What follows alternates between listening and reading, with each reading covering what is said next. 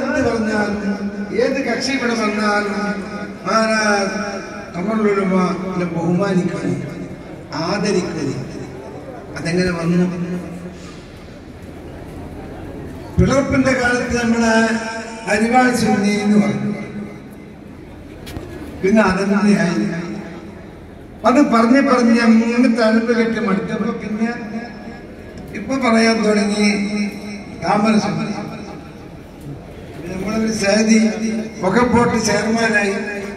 അലഹമില്ല എന്ന് പറയുന്നുവെന്ന് പറയാം ഒരു സുന്നികളെ സംബന്ധിച്ചിടത്തോളം ഇതുവരെ മൃദുക്കാരായിരുന്നു അനഫികളായിരുന്നു അവർ സാഫിയായ ഒരു സാഫി മതേബകാരനായ ഒരു സാഫി. അയാൾ ഒക്കെ പോലെ ചെയർമാനായാൽ അസൂയപ്പെടേണ്ടതല്ലല്ലോ. അങ്ങനത്തെ അങ്ങനെ സ്ഥാനം നമുക്ക് കിട്ടിയല്ലോ. അപ്പം വെച്ച് കിട്ടിയത് ബി ജെ പിന്റെ ഞാൻ പറഞ്ഞു വന്നത് നമ്മളല്ല. അതെല്ലാം ഹിന്ദുസ്ഥാനിന്റെ സ്വഭാവം കൊണ്ടാണ് എങ്കിൽ അല്ലെങ്കിൽ ഹിന്ദുസ്ഥാനിന്റെ സ്വഭാവം കൊണ്ടാണ്.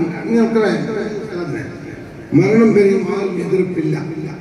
എല്ലാവരും നിങ്ങൾക്കറിയാം കാസർഗോഡിന്റെ ചുറ്റുപാട്. എല്ലാവരും എന്തെന്നില്ലാതെ ബഹുമാനിച്ചു എന്താണ് കാരണം? ഇത് ഇങ്ങനെ ഒരു സ്ഥാപനം ഇത് നടക്കാനായിട്ട് സാധ്യമാണ്?